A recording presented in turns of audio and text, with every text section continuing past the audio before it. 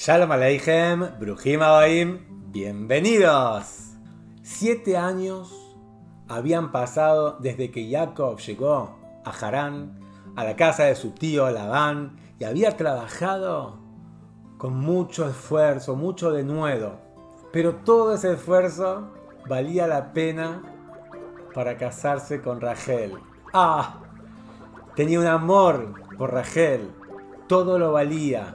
Un día cuando Jacob se fue a trabajar, como lo hacía cotidianamente con su ganado, se fue a trabajar, a pastorear las ovejas, Labán hizo un encuentro con la gente del lugar, así como algo secreto, y les dijo, vengan, vengan, vengan, quiero decirles algo. Sí, sí, sí, sí. ¿Qué pasa, Labán? ¿Ustedes se acuerdan siete años atrás? Cuando teníamos que tapar el pozo de agua para que nadie nos saque el agua, porque había poca agua. Y cómo después de eso ahora hay agua en abundancia, que no para de salir. Sí, sí, me acuerdo. Sí, ¿cómo no me voy a acordar? Uh, ¿cómo no me voy a acordar? Obvio. Bueno, hagan memoria. Desde que vino Jacob, empezó a ver esa brajá, esa bendición.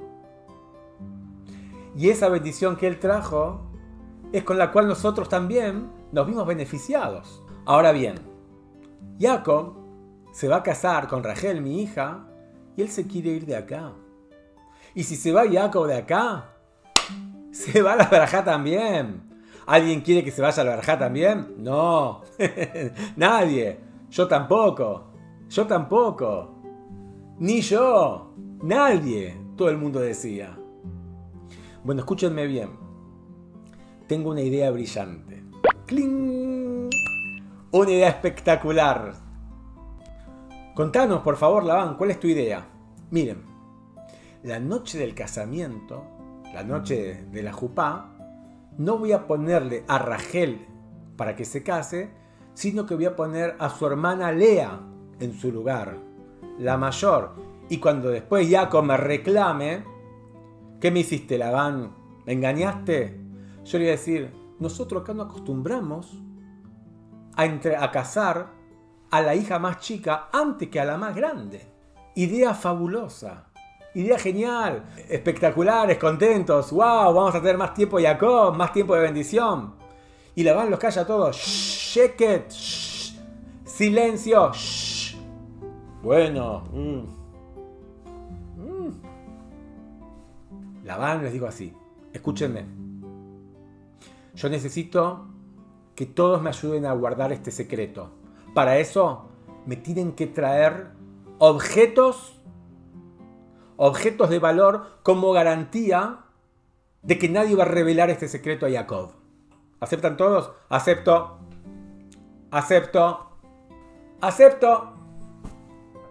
Y así, todos los hombres le iban trayendo a Labán un candelabro, una jarra de oro, un collar, cosas muy valiosas que Labán iba guardando, iba guardando. ¿Y qué hizo Labán? Fue a los negocios de venta de comida, compró comida para la fiesta, verduras, carnes, vino, y pagó con los objetos que le dejaron en garantía las personas dejarán. A la noche, gran fiesta, la gente comió, la gente bebió, la gente bailó. Al otro día, la gente le va a reclamar a Labán, bueno Labán, devolvenos las garantías. Dice, ¿qué garantías? ¿Acaso no comieron? ¿Acaso no tomaron? ¿Acaso no la pasaron bien? Bueno, no se quejen. Ah, bueno, dijeron vemos que no solo a Jacob lo engañaste, sino que también a todos nosotros nos engañaste. No en vano a vos te llaman Labán Aramí, Labán el arameo, que las mismas letras significan Labán Aramaí, Labán el engañador. Bueno, hasta luego.